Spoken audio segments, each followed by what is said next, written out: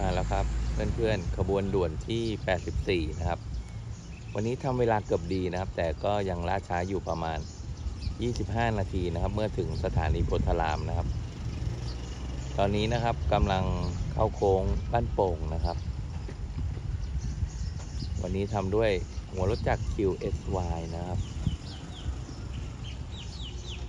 นำเบอร์อะไรเดี๋ยวมาดูกันนะครับำลังลอดสะพานเกือกม้านะครับ ที่ชุมชนบ้านดงยางนะครับ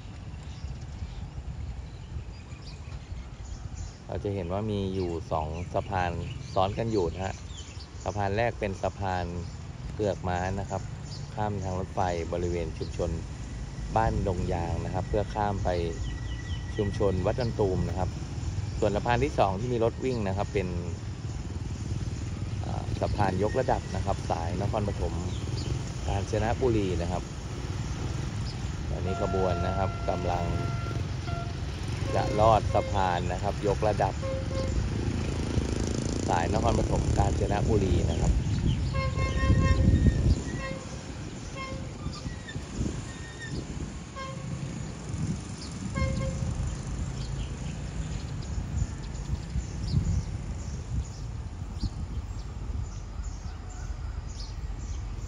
มาอย่างแรงเลยนะครับสำหรับขบวนด่วนที่ 84 นะครับ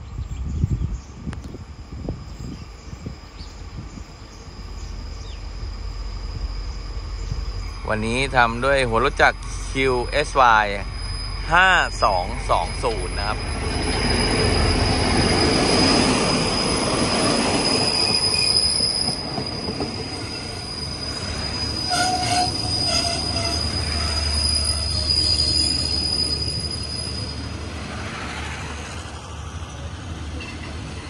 ขบวนต้องชะลอนะ เพราะเดี๋ยวต้องไปออกประแจนะ เพื่อเข้า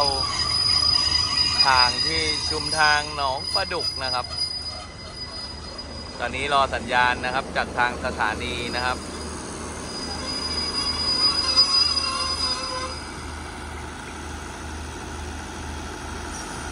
นี่นะครับ ต้นทางตังนะครับปลายทาง กรุงเทพอภิวัตนะครับ